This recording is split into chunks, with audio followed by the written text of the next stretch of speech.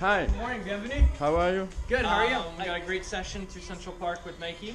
Um, this is our Ekin, Chris, um, who's from Nike, who will uh, give you a little demonstration of what's going on.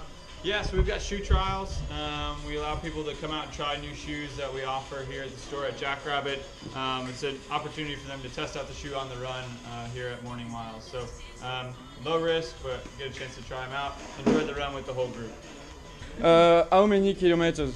Uh, so it'll be about 4.7 miles, so that's just shy of 10k. Yeah, so we do um, like a core workout. So Jess, Coach Jess will lead them in like abs strength training. At the store, they'll do like burpees and push-ups. Vous l'aurez compris, nous allons faire une petite session de workout, oui oui oui, with, en cadeau, un petit donuts. In America, in America.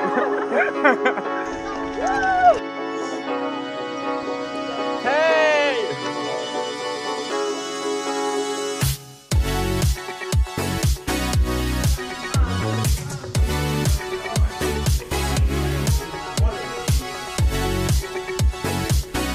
Uh, come to morning miles all the time. Uh, great time, good people. Sometimes you get spoiled. And hey, it's a great way to start off going to work.